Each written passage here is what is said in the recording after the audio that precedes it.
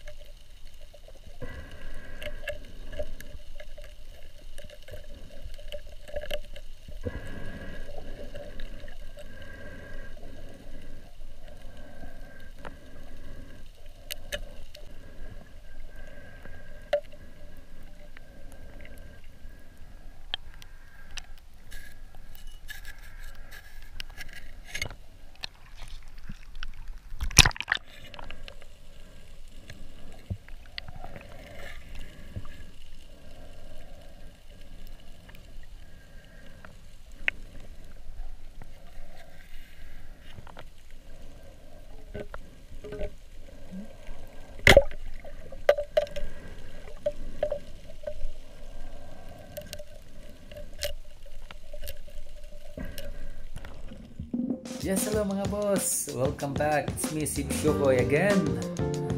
Uh, galing po kami sa malayong lugar uh, to had my crabbing. So, medyo nakahuli kami ng medyo marami-rami na crabs. But, uh, hindi masyadong season. So, medyo medium size of crab. We catch it uh, an hour ago. So, about half of my collar it's filled with crabs may mga crablets. Tingnan natin. So by the way, tomorrow I'm planning to uh, cook my favorite recipe.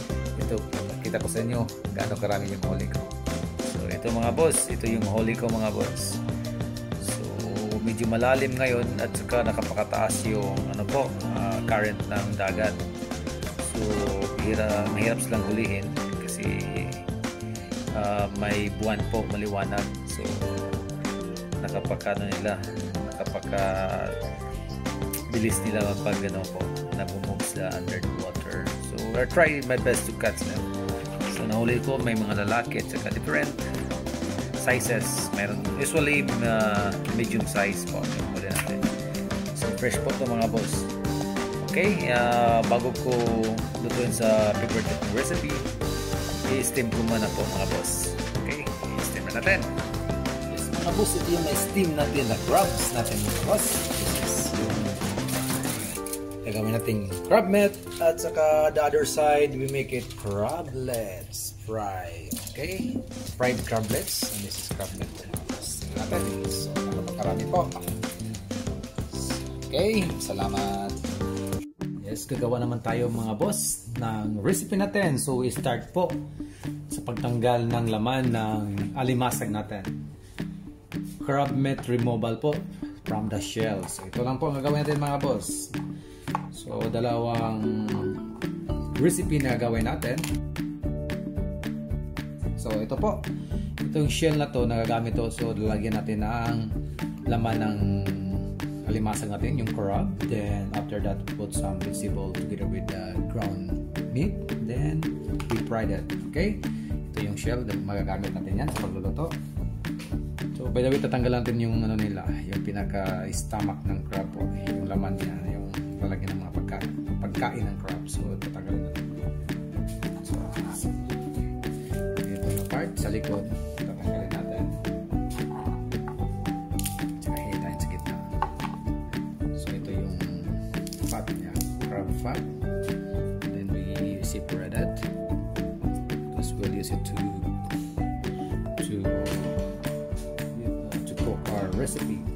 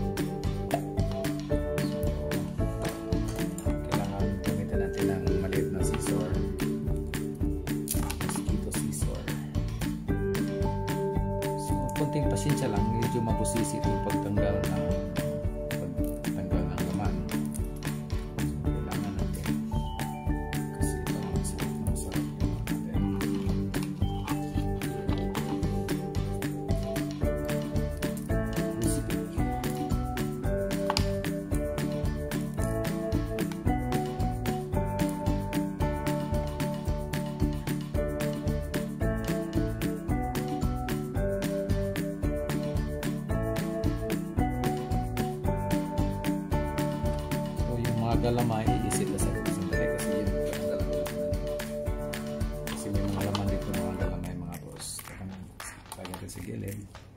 Kasi kailangan dito din tanggalan ng laman.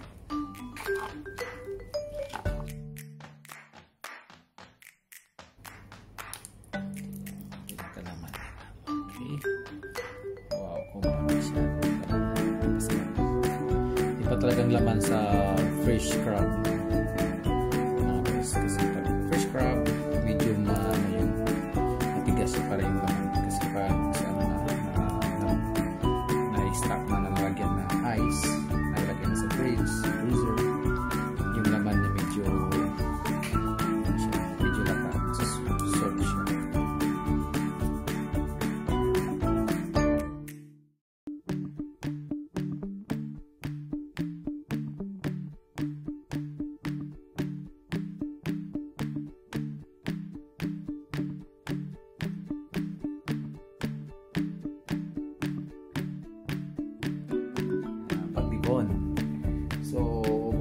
Nakaparami pa na ano, crabs na tatapusin ko. So, la- lahat po, lahat po na ano natin, uh, i-remove natin yung crab meat, separate natin from the shell. And this shell, the main cover of the crab, we need to cook in other recipe po. Lagyan natin ng ano po, mga ingredients, mga sangkap bago natin lutuin. Okay, mga boss, kalimutan mag-subscribe sa aking channel, Dix Life Server, aka Shake Show. Start naman tayo sa recipe for today, yung tawag natin na crab meat. Ito po yung sangkap natin. Ito po yung mixture together with chicken, minced chicken. Yung chicken meat natin, minimix natin together with the carrots at saka yung mga pangpalasa natin. So, kasali na dyan yung onions, garlic, at saka kunting ano po, ricados. At saka yung pinakamarami nito mga boss, yung tinatawag natin carrots, minimix natin sa the crab meat and chicken. And ito po yung crab shell na lalagyan natin. Uh, ilagyan natin yung meat sa loob ng crab shell. So,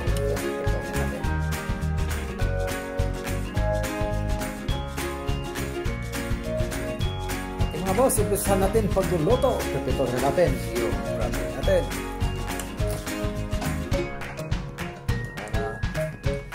So, di ko tinatanggal yung taba ng ano po, taba ng crab sa gilid.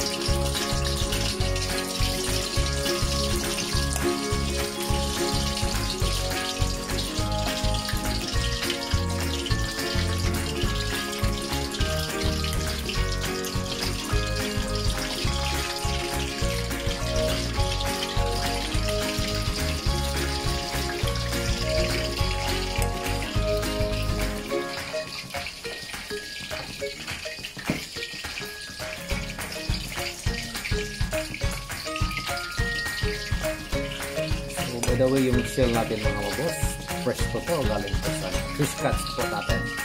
So, in-steam natin yung crab, then, tinatanggal natin yung pinakamalaking shell covers.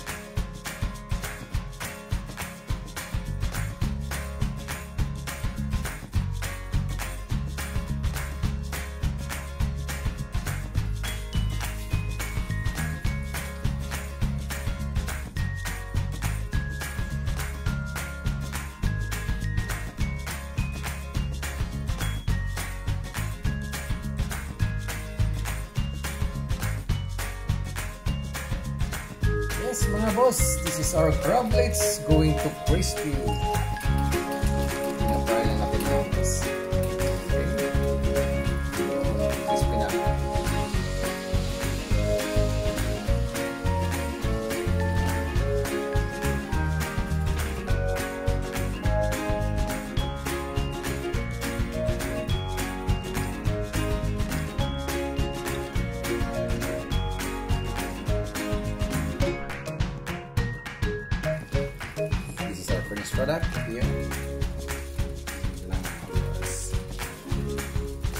Ayan mga boss, sausaw natin sa special Ship Shukoy Vinegar. Meron tayong Ship Shukoy Vinegar.